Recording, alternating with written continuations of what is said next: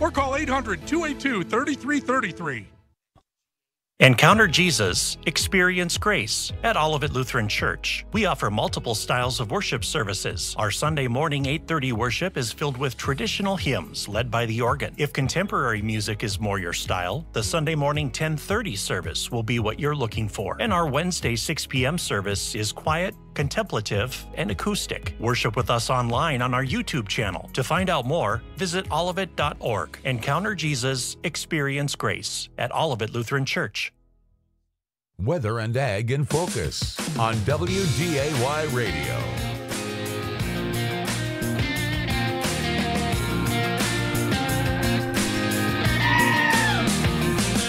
And welcome to Weather and Ag in Focus 106 in the afternoon.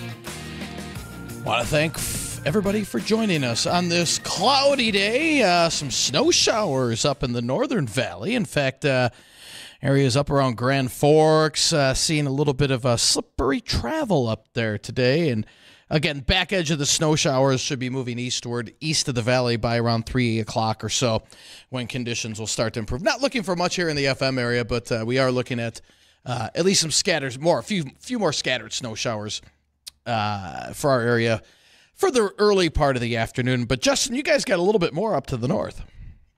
Yeah, we got a, a, little light dusting of snow and some uh, sleet, a little freezing drizzle last night. That produced some slick roads on the, uh, the Interstate 29 north of Hillsboro up to the Canadian border. In fact, a lot of ice or partially snow covered roads up here in the northern valley over towards the Devil's Lake Basin, and then some scattered ice and snow stretching all the way down towards Bismarck as well as Dickinson. So looks like the southern valley escaped just about all of it, with an yeah. exception for just a, a few flakes flying and dancing through the skies right now. That's a bit. Yeah, that's about it. There's a couple of pockets of some uh, more moderate snow showers, at least briefly, out around Daisy.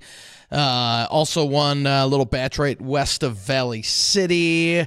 Uh, some light snow stretching from about Galesburg up through uh, just north of Mayville, and then just north of Grand Forks. Grand Forks. Um, uh, and areas northwest of Grand Forks, uh, even up towards the Canadian border. If you have any plans on 29 uh, going north of Grand Forks up through uh, up to the Canadian border, uh, some slippery travel, some slightly I'll call it more moderate snow showers up there where we could see some light accumulation and yeah, just enough to kind of grease up the roadways. But everybody else, just a lot of clouds. A lot of clouds around this week, too. We're not looking at a whole lot uh, in the way of sunshine until later this week. Uh, towards the tail end of the week, we'll start to see increasing amounts of sunshine. But the good news about this week A, there's no big storms, and B, we're looking at temperatures above normal all week long into the 20s and 30s. And we're going to keep that stretch of 20s and 30s, mainly 30s, all the way through the weekend and probably into early next week, which uh, rounds out the month of January already. Man, yeah, we're turning the corner into February, but we're ending January on a relatively nice note. Yeah, it sure is. Uh, it's pretty nice, and unfortunately, when we get these uh, really nice, pleasant temperatures in the middle of winter, you usually get uh, ice to follow with it, and has been the trend with a lot of these little system with the pockets of some freezing mist and drizzle and sleet, and it. I'm sure people would agree it's been more than years past. Well, we're typically just not this warm in the middle of winter, and that's part and part why we're seeing more of these little uh, I don't want to call, I guess you could call them nuisance little systems or little disturbances that come through and produce just a little bit of slick travel around the area. And we've got uh, we've got uh, some giveaways this week. We've got boat show tickets.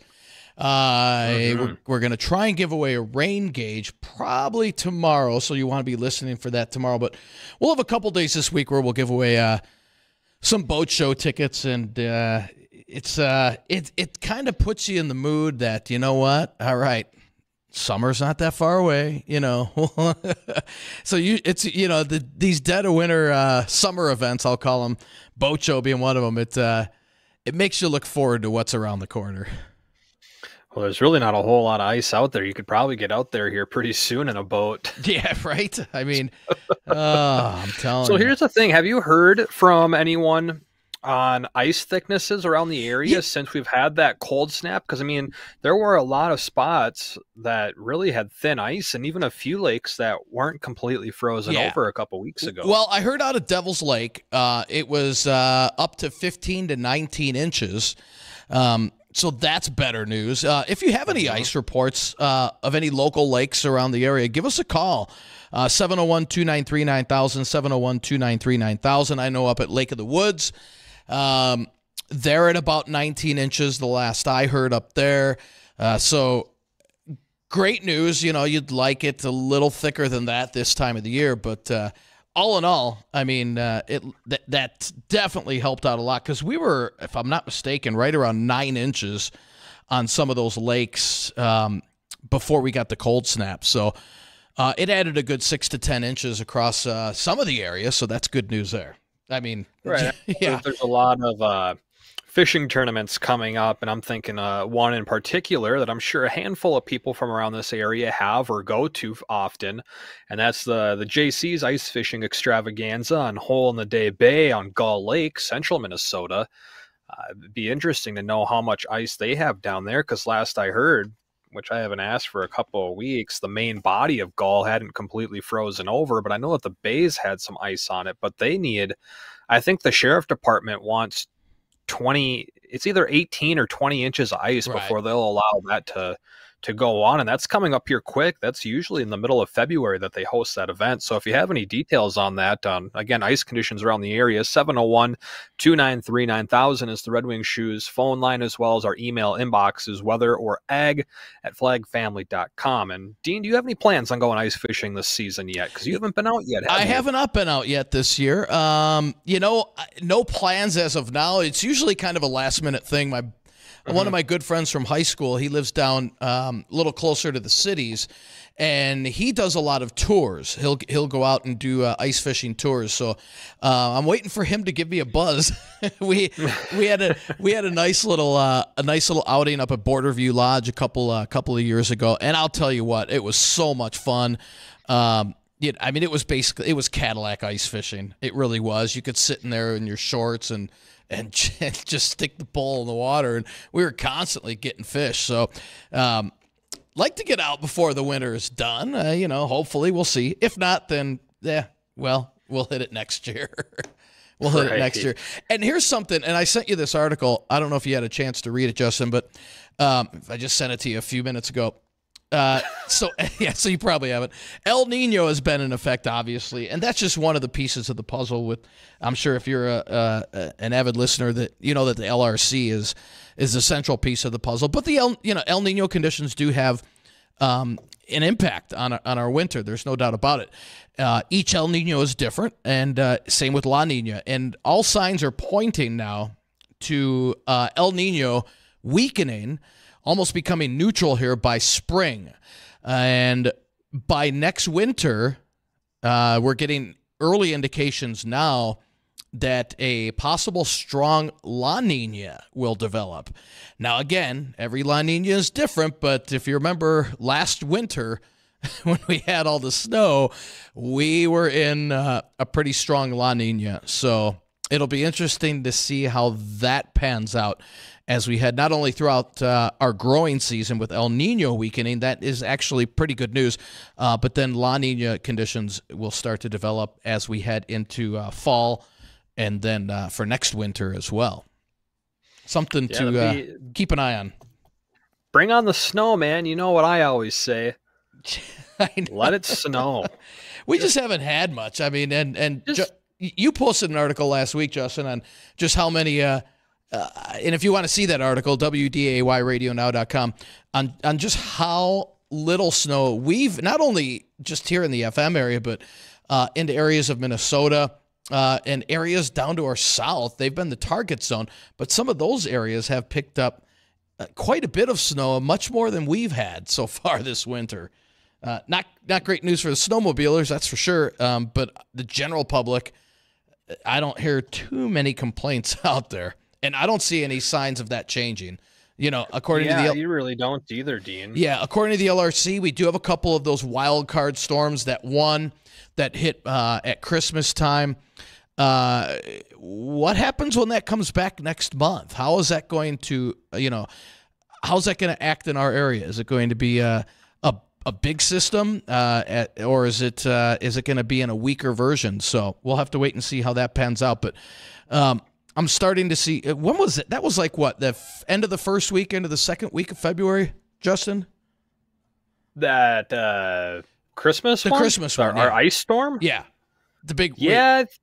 Well, when was that? Would be uh, I I, th- I want to say that that's the uh, seventh and eighth of February. Okay. I'm pretty sure. All right, because uh, we're starting to get some indications of it's around that time when we're going to start to see another pattern change, and uh, our models are just starting to hint at a huge, a possible huge storm entering the Pacific, uh, entering the West Coast. How Uh, huge is It, it? it, looked pretty big. Uh, Oh. right around that first week in February, which would about put it on target for our area by around that sixth and seventh time frame. So, um, if you're, you know, if if you're wanting more active weather, that would be our. I call it the wild card storm because that was a pretty significant storm, and odds are usually when it comes through on the on the next cycle, it's It'll usually different, yeah, it's usually. usually a little bit different. So, but we do and even the one that uh, we on our calendar, if you've been paying attention, uh, we got a line on the uh, 23rd, 24th, and 25th, and that's tomorrow, Wednesday, and Thursday.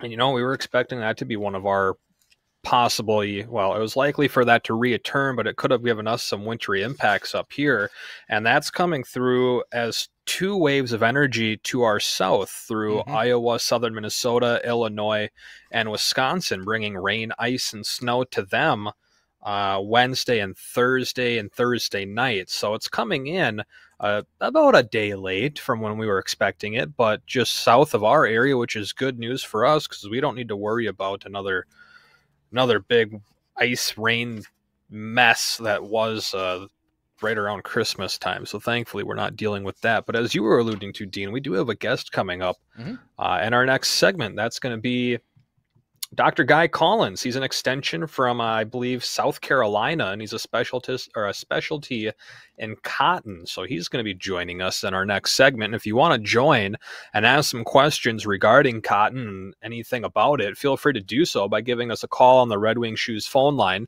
That's 701 293 9000, or again, our inboxes, which are weather or ag at flagfamily.com. We're going to get caught up with the American Ag Network, and we, we when we return, we'll be uh, joined by Guy Collins. Again, that's North Carolina Extension Cotton Specialist. Livestock market is mixed but mostly lower this afternoon. For the American Ag Network, I'm Richard Ristvet with this market update. After running into long term resistance levels late last week, live cattle futures are skeptical of trading too boldly. Thankfully, this week's slaughter is expected to be more aggressive as packers will have the full week to process cattle, and stronger box beef prices should encourage them even more. Friday's cattle on feed report isn't having much of an effect on the market as traders deem the report's data as pretty much neutral, but looking for strong demand factors or an uptick in the cash market to spark prices higher. Last week's negotiated cash cattle trade was disappointing as very few cattle traded, but of the few cattle that did trade, northern dress cattle sold for 272 to 277, mostly at 274. That is $1 higher than the previous week. Southern live cattle traded for mostly 173. That is also $1 higher than the week before. The week's volume of negotiated cash cattle sales totaled 37,348 head, of which 87% are committed for nearby delivery, while the remaining 13% are for deferred. Box beef prices are higher. Choice up 231 and select up 2 bucks with a movement of 41 loads. Now, like the cattle complex, the lean hog market has been off to a slow start today. Midday carcass price is well supported as most of the cuts are seeing better interest and therefore higher prices. We'll get a look at the livestock numbers next. You're listening to the American Ag Network. When news happens in agriculture or when the markets are moving, we've got you covered as your trusted voice in agriculture. The team at the American Ag Network has the knowledge and experience to keep you informed on the issues impacting farmers and ranchers. We've got you covered on air, online, and on demand. Find the American Ag Network on your favorite social media platforms and also follow the American Ag Today podcast wherever you get your podcasts. We are the American Ag Network. Make sure to subscribe to the Market Talk YouTube channel. You can watch our latest interviews with top market analysts in the country, find bonus content, and much more. It's easy. Just go to youtube.com slash at Market Talk Ag and hit the subscribe button. Or you can search for Market Talk Ag on YouTube. Get the latest bonus interviews, exclusive content, and more with the American Ag Today podcast. Just search for American Ag Today and give us a follow wherever you get your podcasts. Let's get a look at the livestock numbers. Live cattle February down 35 at 174.02. April down 15 at 177.22. June up 22 at 174.55. And the August live cattle, they're up 20 at 174.97. Feeders January down 12 at 229.97. March down 37 at 231.57. Lean hogs February up 20 at 70.95. April down 15 at 78 even. And the May lean hogs, they're down 47 at 83.50. The Dow right now is up almost 100 points. The dollar sits at 103.1 with crude oil trading up over 2 bucks at right around $75.5 a barrel. For the American Ag Network, I'm Richard Ristvet. Weather and Ag in Focus on WDAY Radio.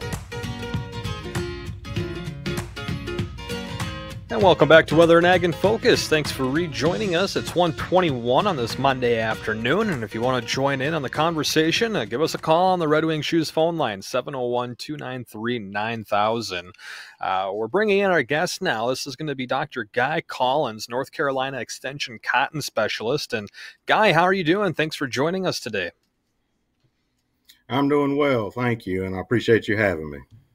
Yeah, not a problem at all. Well, tell me a little bit about yourself, Guy. Uh, a little bit of your backstory, what it is you do, and how you got to where you're at today. Okay, well, uh, my name is Guy Collins. I'm a cotton specialist with NC State University. Um, I grew up in eastern North Carolina on a, my family farm, and we raised peanuts, cotton, a little bit of corn, a little bit of wheat, and we also had some cattle. And um, from there, I went to school um, let me back up. When I was 16 years old, I worked for a crop consultant, and that's where my passion for cotton really began. And then I pursued all of my degrees at NC State University in agronomy. I did several internships, and fresh out of graduate school, I was a cotton specialist at the University of Georgia in Tifton, Georgia. And in 2015, I was fortunate enough to move back home uh, to my alma mater uh, as a cotton specialist here. So that's where I am today. And Guy, uh, I mean, obviously up here, there's you know nobody raising cotton this far north, uh, just a little no too warm. Successfully, yeah, right. Um, so for people that don't know how, how, how actually do you plant uh, and also harvest cotton as well?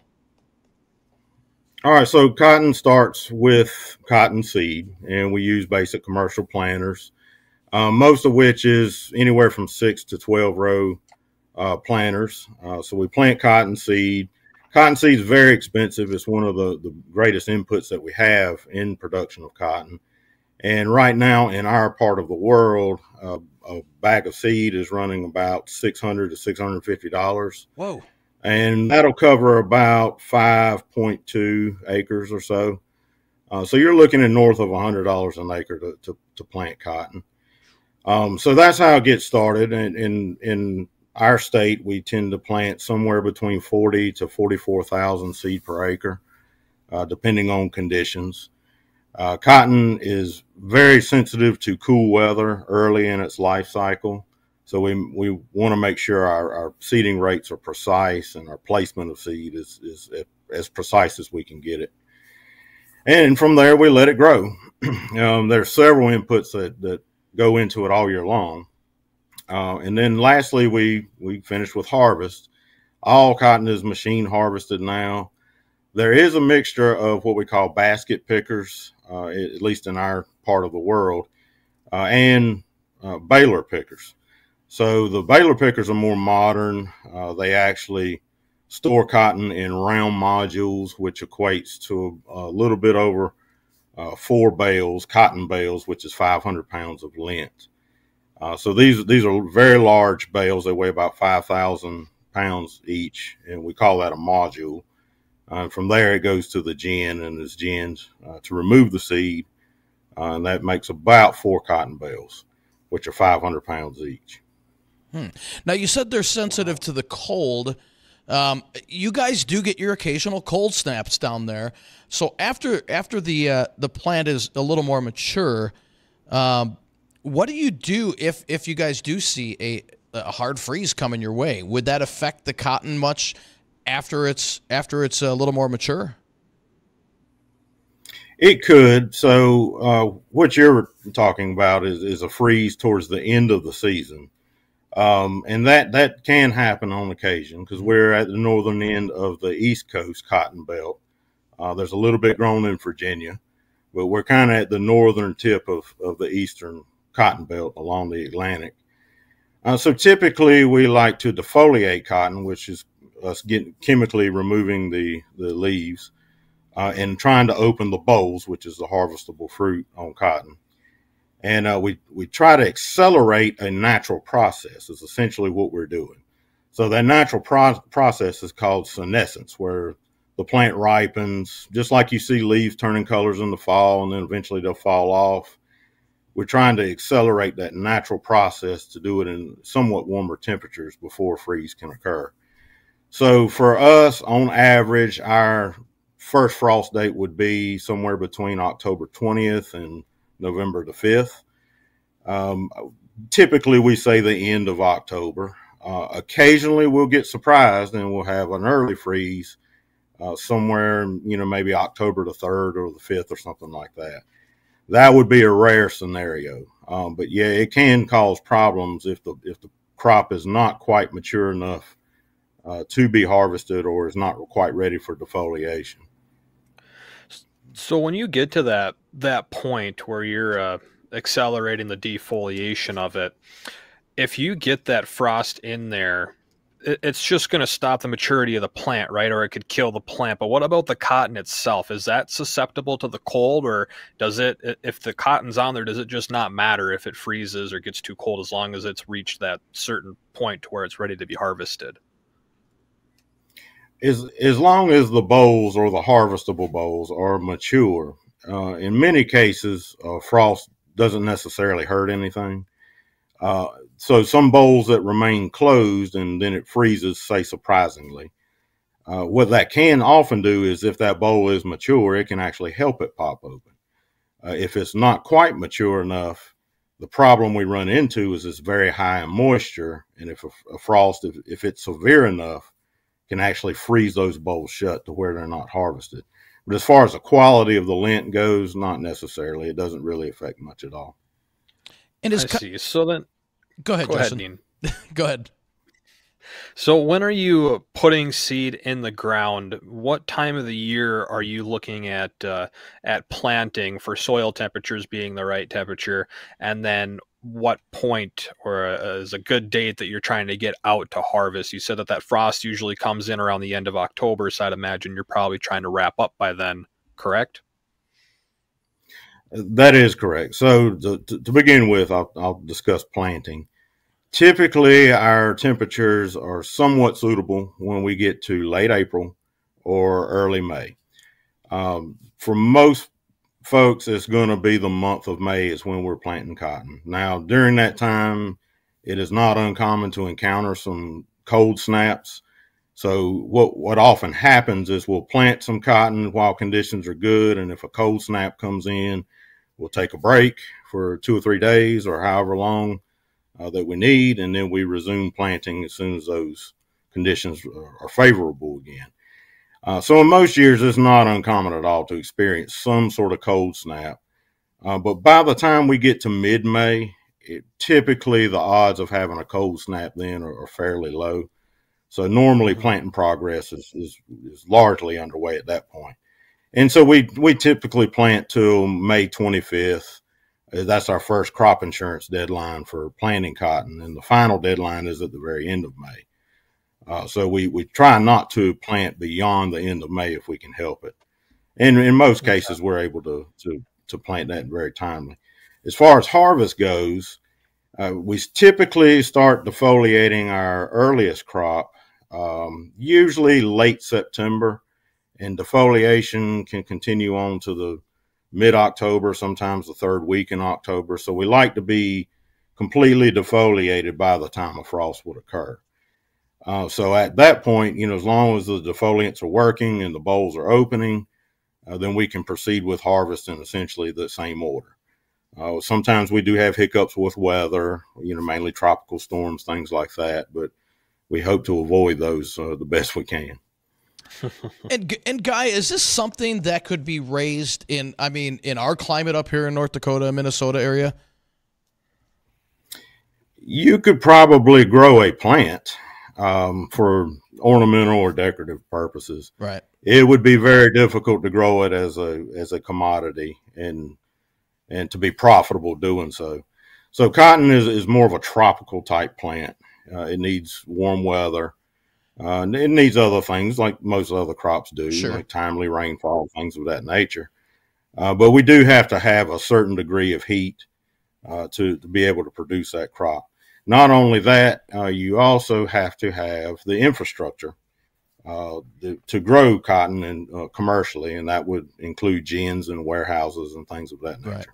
Is it is it a pretty good drought tolerant crop to raise? So cotton is thought to be a drought tolerant crop. Yes. Okay. That does not mean that it is not responsive to water and Sure. does not need water. So we we can in some years see a very big difference in irrigated cotton versus dry land cotton. This past year was a prime example of that. We were hit very hard in August with some severe heat and drought, and that that punished yields in in a lot of cases. Uh, so we do need water, and we need timely water. We don't need uh, very much water at any given time, and having too much water is a bad thing just as well. Right. So, um, you know, cotton is very responsive to irrigation water, but in general, it's thought to be more drought tolerant than a lot of the other crops like corn and, and soybeans and Sure. things like that. Okay. Well, Guy, we're at the bottom of the hour, so we have to go to uh, American Ag Network real quick. Uh, but when we come back, uh, we'll have more questions for our guest. Uh, again, Guy Collins. He's a, uh extension cotton specialist out of North Carolina. If you have any questions for Guy, please feel free to give us a call 701 293 9000. That's 701 293 9000. Don't go anywhere. We'll be right back. Uncover unbeatable boat show incentives at Lakeland Dock and Lift. For a limited time, purchase a flow lift and receive a free boat canopy fabric valued up to $5,100 on qualifying lift purchase. Or receive free Homecrest furniture up to $2,300 with qualifying flow dock purchase. Experience the unparalleled convenience of flow docks and lifts. Hurry in for this limited time offer. Lakeland Dock and Lift, Highway 10, east of Detroit Lakes, or Lakeland General Store, just south of Detroit Lakes in Dunvilla. This Giving Hearts Day, Jail Chaplains is teaming up with local businesses and Christian nonprofits to bring you the 8th annual Battle of the Churches Chili Cook-Off. Join Jail Chaplains on Thursday, February 8th from 4:30 to 7:30 p.m. at St. Anne and Joachim Church. This is a free family event with live entertainment, door prizes, and children's games. You can give hope behind bars this Giving Hearts Day with a gift to Jail Chaplains, which will be matched up to $100,000. Learn more about the event and make your gift today through February 8th at jailchaplains.com. Good afternoon. I'm Tom Tucker, WDAY News First. Governor Doug Burgum has announced he will not seek a third term as governor. Burgum was elected to serve as North Dakota's 33rd governor in November 2016 and took office December 15, 2016. He was reelected to a second term in November 2020. Former President Donald Trump has hinted that Burgum could play a role in a second Trump administration. Former North Dakota State Senator Tom Campbell, meanwhile, has announced his candidacy for governor. Campbell tells WDAY Radio News that an official announcement will be coming in the next two weeks. Campbell left the state Senate to pursue a congressional run but lost in the Republican primary to Kelly Armstrong in June 2018. And economist and political commentator John Lott Jr. says he expects election integrity across the country to be mixed during the 2024 election. you have some states which have moved towards uh, uh, having, you know, voter IDs and uh, and other protections, but you have uh, other states that have moved to uh, uh, mail-in ballots. Lott says other states are also allowing ballot harvesting, which he calls very problematic. Lott also says overall the United States has much looser voting rules compared to most other countries around the world. Tom Tucker, WDAY, and WDAYRadioNow.com. The archaeological record suggests that wheat was first cultivated in the regions of the Fertile Crescent, also known as the cradle of civilization, around 9600 BC. The Roman goddess Ceres, who was deemed protector of the grain, gave grains their common name today, cereal. Wheat is the primary grain used in U.S. grain products. Approximately three quarters of all U.S. grain products are made from wheat flour. The first bagel rolled into the world in 1683 when a baker from Vienna, Austria, was thankful to the King of Poland for saving Austria from Turkish invaders, the baker reshaped the local bread so that it resembled the king's stirrup. The new bread was called bugel, derived from the German word for stirrup. Ancient traditional tortillas were made from ground corn by Mexican natives as long as 2,000 years ago. However, flour tortillas only started to become popular in the 19th century. More types of foods are made with wheat than with any other cereal grain. These farm facts brought to you by the American Ag Network. Encounter Jesus, experience grace at Olivet Lutheran Church. We offer multiple styles of worship services. Our Sunday morning 8:30 worship is filled with traditional hymns led by the organ. If contemporary music is more your style, the Sunday morning 10:30 service will be what you're looking for. And our Wednesday 6 p.m. service is quiet, contemplative, and acoustic. Worship with us online on our YouTube channel. To find out more, visit olivet.org. Encounter Jesus, experience grace at Olivet Lutheran Church. This is Weather and Ag in Focus with Bridgette Readel, Justin Storm, and Dean Wysocki. And welcome back to Weather and Ag in Focus. We're rejoining our conversation with Guy Collins, North Carolina Extension Cotton Specialist. And if you got some questions for Guy or for us, give us a call on the Red Wing Shoes phone line. That's 701 293 9000. And before we went to uh, bottom of the hour break there, kind of touching on a little bit about planting and uh, the weather that cotton is suitable for. But what happens after we get the cotton seed in the ground? What's the growing period look like for this? What are you doing for fertilizers or amendments to the soil to ensure that you get a good crop, or is it just kind of a plant it and forget it thing? All right, so yes, uh, we we don't certainly don't plant and forget it. It's a very high management crop. Um, so one of our biggest challenges is weed control, and that occurs naturally earlier in the season. And we have progressed over the years to an approach that relies on residual herbicides, basically preventative measures. Uh, we're combating herbicide resistance on many fronts uh, these days, so that's very, very important um, to to just keep those weeds from from emerging and, and becoming a problem. Um, cotton is also um, an entomologist's dream, as they say. Um, there, there's an insect dynamic uh, unlike other crops, that is very interesting in cotton. And that starts with thrips, which are a little tiny flea like insect that feeds on cotton seedlings really as soon as it emerges. Um, and affects it until we have about four true leaves on it. So, you know, two or three weeks there after we plant, it can be a problem. Um, that's probably the most consistent insect pest that we have. Uh, from there, once we start setting squares, which that's an interesting anecdote about cotton. The, the fruit, as you heard me mention earlier, is called a boll, but before it blooms, we refer to that as a square. Don't ask me where that terminology came from because it looks nothing like a square.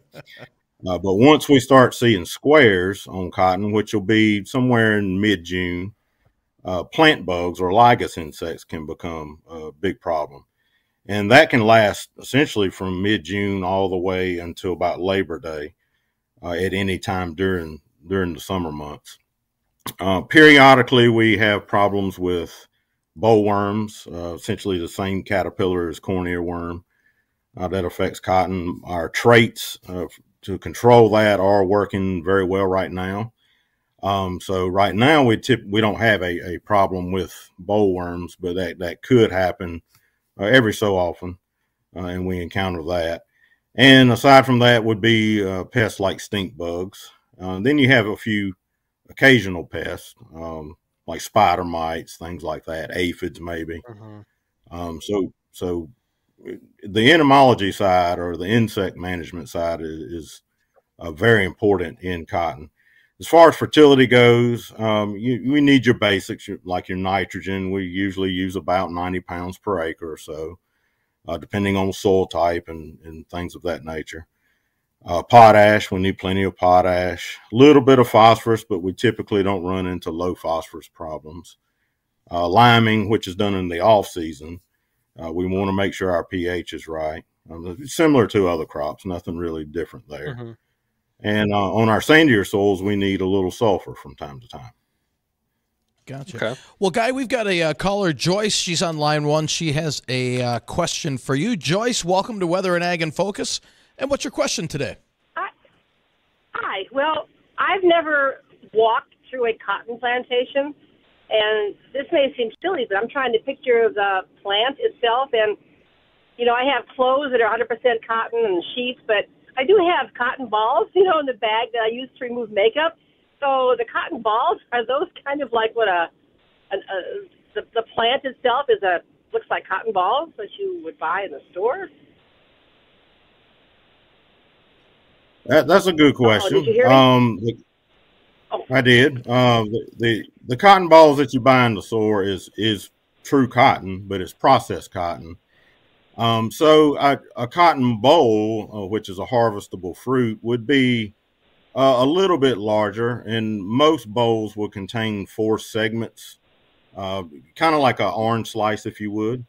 And in that cotton is the seed. So the, the cotton fibers arise from the cotton seed. So when a cotton boll opens, you have these four segments that kind of fluff out, and all you see is the cotton. But once we harvest it, we have to take it to the gin, and that gin uh, with the use of saw blades and a lot of other fancy equipment, removes that seed from that lint. So all that's left is the lint. So then the lint is cleaned and woven however we need to.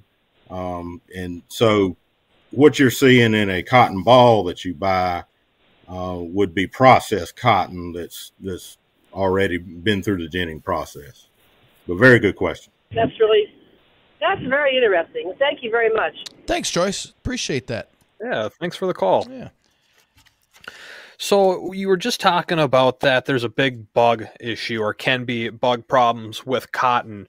Um what would you say is more of a, a permanent or permanent pest? Is it more of the bugs or is it disease? Is cotton a disease susceptible plant?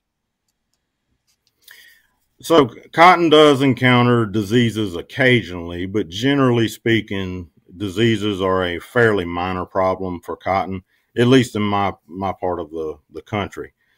Uh, there are some diseases that uh, periodically can be problematic. Uh, one of which is bacterial blight, um, that that can cause severe yield loss on occasion.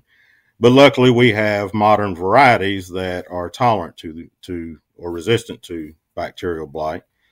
Um, some other diseases would be foliar type diseases. Um, early in the season, we can have seedling disease, uh, which is rhizoctonia uh, or pythium, uh, or common seedling diseases. And basically, that can just kill the cotton seedling.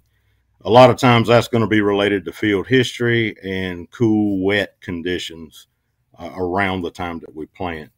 So, a lot of times, that's avoidable. Uh, and then later in the year, we'll have other foliar diseases, such as uh, uh, one's called target spot, for example, that can cause cotton to prematurely defoliate. A lot of times, what we see though uh, is that disease only comes in when we have very wet conditions, usually in mid August through September. And our long Labor Day is when we're going to, we're kind of giving up on, on growing the plant and just waiting for it to mature anyway. So when we have those uh, wet conditions that time of year, it doesn't hurt for us to go ahead and lose some of those leaves uh, to get a little bit of airflow down there so that the bolls don't rot and, and things like that. Uh, so a lot of times it can help you, but what you don't want is that disease uh, coming in way too early while we're still actively trying to grow bolls. Right. And Guy, uh, a couple of quick questions: is is the cotton highly imported or more exported? A large, large majority of our crop is exported. Now there is some domestic use of cotton. Uh, we do uh, have a few spinning mills uh, remaining. Uh, some make denim, some just you know do various things. A lot of the domestic market nowadays is going to be yarn spinning, and a lot of that is is driven by machines. Um, so some what we see in the domestic market a lot of times, especially with yarn spinners, is the yarn will be spun here, but then the yarns are, are shipped overseas, woven or, or, knitted into fabrics, or even final products, and then coming back to the U.S. Uh, to be sold. Uh, but aside from the domestic market, most of it's going to go to China, India, uh, Bangladesh, Vietnam, Turkey, uh, there's there's mills all over, but that's where we see uh, most of our, our cotton going. Gotcha. And uh, I've heard it's also used. Cottonseed is used as livestock feed. Is that quality feed for nutrition, or kind of just more of a filler? It is very good uh, uh, feed value uh, for cattle, especially, and that's both beef cattle and dairy cattle. Mm-hmm. Um, they can kind of get a, a, if they're eating whole cottonseed, they can get fat, protein, and fiber essentially all in one if they're eating that whole cottonseed. And uh, like we used to raise cattle, and that's what we would feed them during the wintertime. And we we actually would turn cows out on a cotton field to let them kind of clean it up, you know, whatever oh. cotton was left. Mm-hmm. And they will pick it clean. They they love cottonseed. Interesting. Um, so oh. some aren't fed whole cottonseed, but they're they're fed cottonseed meal, uh, which is everything minus the cotton oil. You know, that's after it's been crushed for oil, and it's the byproduct of that. And it's also very, very nutritious for uh, for cattle. But uh, cotton oil is consumed by humans. I mean, we use that in cooking and the cosmetics industry. Uh, and there's other byproducts too that are fairly interesting, like linters, which are the tiny fibers that's left after the ginning process that we can't really they're not long enough to weave into fabric. Uh, so it's like the fuzz that's, that's remaining on the seed. Uh, those linters are used as like thickeners and ice cream things like that. Uh, paper money like if you hold up a dollar bill you'll see uh, some colored fibers mm-hmm. in there a lot of them are red or blue yep if you look really really close you can see them also uh, film. So cotton fiber is actually uh, almost pure form of cellulose. It's one of the rarest forms of just cellulose, and it's used in, in things like film. Interesting. Never knew Very that. Interesting. and, and I got one for you here, guy. Do you what, how do you how do you measure a successful year when it comes to cotton? Up here in the red river valley of north dakota if we're if we hit uh, say 40 45 bushel soybeans we're, we're doing pretty good. If we get 200 bushel corn we're looking pretty good. Uh, what's what's the cotton in north carolina look like for a good year? All right so that's strictly based on yield which is amount per acre that we can produce and quality of that, that fiber. Um, so you know, certain uses or end uses have specific uh, parameters that they want to meet in terms of their ability to spin that cotton or weave it or, or knit it. Uh, fiber length is is one parameter. The thickness of the fiber uh, is another one. So, like your finer linens, we're going to have long fibers and very thin fibers, uh, but they want that fiber to be strong as well. Uh, we're we're also graded on color grades, which can be driven by environmental conditions. Um, there are other things uh, as well, uh, like extraneous matter or trash content, leaf content uh, in that lint. Um, that is going to affect the spinning uh, process, so we're graded on that as well. Uh, but the a lot of times what we see are discounts if we're going to encounter a, fiber quality problem, and a lot of that's related to environmental conditions like severe drought, for example. It's not uncommon to have really thick fibers after we've had a severe drought, usually in the month of August. Uh, but proudly, most years, uh, we're able to avoid a lot of that, and, and we're able to harvest very high quality cotton. Uh, so, aside from quality, we we are the measure of success is, is really going to be yield. And most growers will tell you that to break even or to make a little bit of money, you need to be at at least two bales per acre, which will be the equivalent of a thousand pounds of lint per acre. Uh, so anything greater than that is is better economically for us. Um, in modern times, with growers with irrigation, or just get a little bit of timely rain right when they need it, uh, three bales is certainly a realistic possibility, uh, and we can we can be profitable at, at three bales. And occasionally, if we're really lucky, we can we can break four bales. Now that's in our part of the world. Uh, if you get outside of the southeast and mid south, there's other parts that can hit four and five bales quite regularly in those arid environments, but they have to have timely irrigation water. Mm-hmm. Oh, that's super interesting. Well, guy, we're running out of time here, so we got to come. We have to end this conversation. But if anyone wants to follow along on the journey of cotton, you got any social media platforms, or do you uh, kind of follow the process at all that you'd like to plug in here?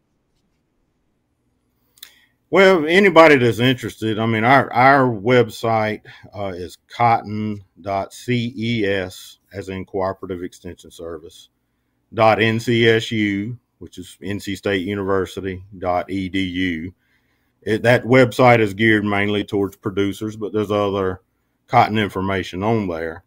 Cotton Incorporated um, is is housed right here in North Carolina. They represent the entire cotton industry and the world headquarters uh, is about an hour from where I am right now. And they do some really cool things um, from marketing uh, to designer uh, issues and, and trends uh, to spinning and things like that. My part comes in with ag research. They fund a lot of the research that we do uh, that is, is here to help growers. Uh, but their website, cottoninc.com, uh, is a very good resource. You can find a lot of good information on um, all things cotton on, on their website. Awesome. Well, thank you very much for joining us, Guy, and we hope you have a great rest of the year. And with the crop coming up, when we come back, we got another check on the forecast. Any last minute questions you might have, 701 293 9000 is the Red Wing Shoes phone line. Stay tuned. We'll be right back. Happy Harry's presents North Dakota's largest boat marine products show, January 26th through the 28th at the Fargo Dome. See all the latest gear, all under one roof. It's the Boat Marine Products Show, January 26th through the 28th at the Fargo Dome. I'm Mike with Jail Chaplains. We believe no inmate walks alone. Right now, there are hundreds of broken men and women sitting in the Cass County Jail looking for hope. We know that hope is found in Jesus Christ. He is transforming lives and setting people free through jail chaplains. You can give hope behind bars this Giving Hearts Day with a gift to jail chaplains, which will be matched up to $100,000. Please consider making your gift today through February 8th at jailchaplains.com. Giving Hearts Day is just around the corner. This year, a generous donor has stepped up to match every single Ann Carlson Center donation up to $1 million. You can give your gift in advance now through April 8th by visiting givingheartsday.org and selecting Ann Carlson Center. Your generosity this year will again further our mission and help provide necessary resources for individuals with developmental disabilities or delays across North Dakota. For more details, head over to givingheartsday.org. Ann Carlson, where every heart counts. At Holson Home and Solar, we believe in the power of a smart home. Safeguard your peace of mind with our state of the art security cameras, keyless door access codes, and monitoring systems. Experience the future with audio video excellence and home automation that adapts to your lifestyle. In a world that's changed, elevate your surroundings, enhance your security, and embrace the future.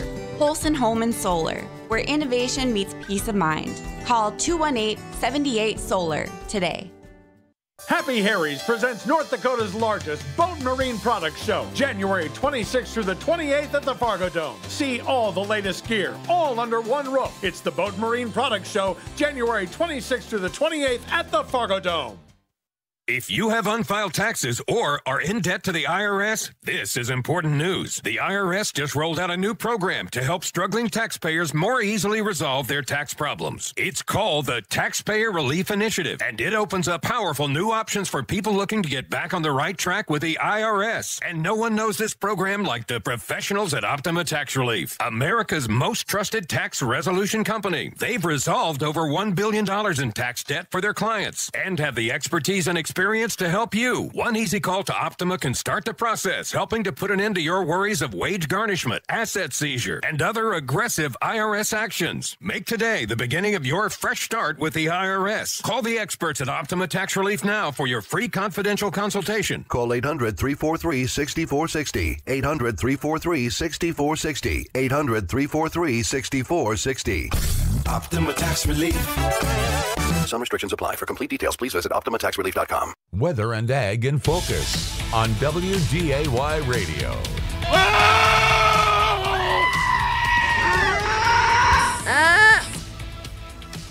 And welcome back to Weather and Ag in Focus. I want to thank you for joining us on this Monday, January 22nd afternoon. Uh, let's do a quick recap of weather because uh, we don't really have a whole lot of time.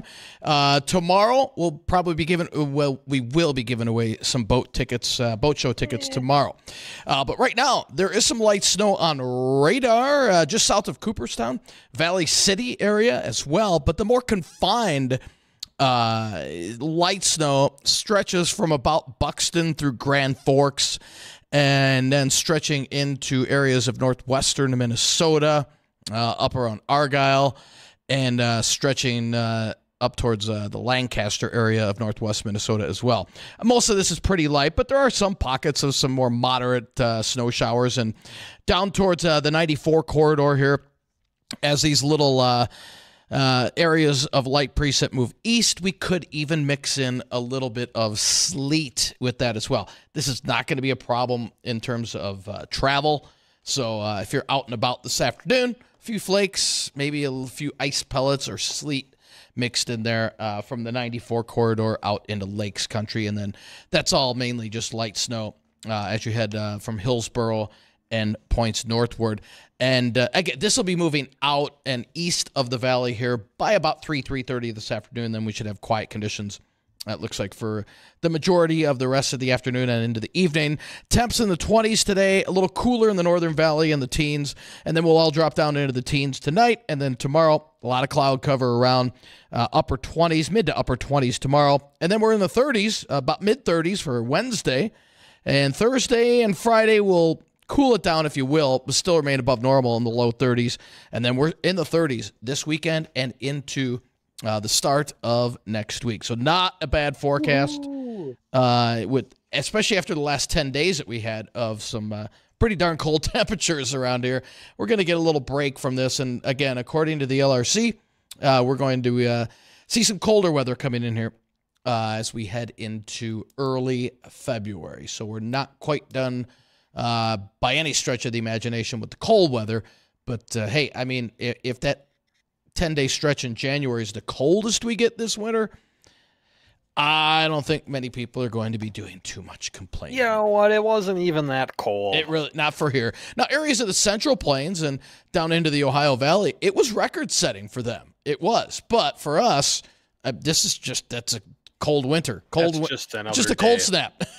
You know, it is just a cold snap. So I'm gonna have a. We will post this online uh, tomorrow, right before Weather and Ag and Focus. I've got a riddle, and if you solve it, you've got to solve it with the correct answer.